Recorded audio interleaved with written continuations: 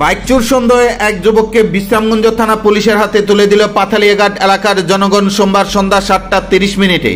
জানা যায়, সোমবার সন্ধ্যা রাতে পাথালিয়াঘাট এলাকায় বাইক চুরি করার পথে এলাকার জনগণ এক যুবককে আটক করে এবং তাকে বিশ্রামগঞ্জ থানা পুলিশের হাতে তুলে দেয়। বিশ্রামগঞ্জ থানার পুলিশ খবর পেয়ে ঘটনাস্থলে ছুটে গিয়ে এলাকাবাসীর হাতে আটক বাইক চোর সন্দেহে যুবক রাজীব দেবনাথ, পিতার নাম বুলানাথ দেবনাথকে আটক করে বিশ্রামগঞ্জ থানায় নিয়ে আসে।